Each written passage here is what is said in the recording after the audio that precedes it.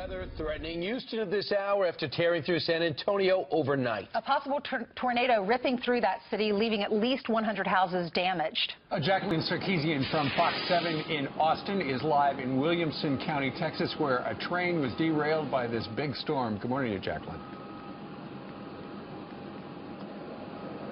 Good morning to all of you. Yes, that's the main story here this morning. Take a look on the other side of Highway 79.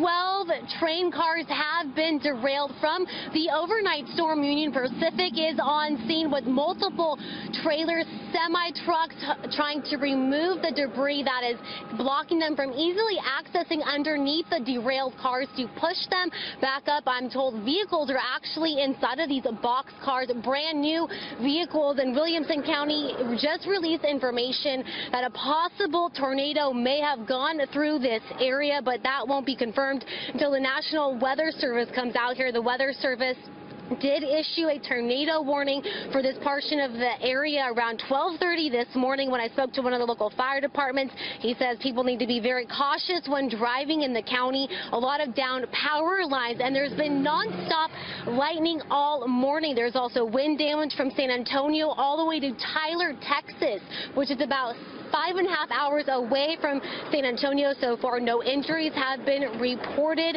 Oncor says approximately 2,000 people are without power because of downed lines. Dozens of homes in this area are damaged. And like you said, in San Antonio, there are at least 100 homes damaged. The National Weather Service is sending a crew down there again taking a live picture, a tractor trying to lift back up all these derailed cars. That's the latest information we have from here. Back to you guys in the studio. All right, Jacqueline Sarkeesian live down in Texas. Thank you very much.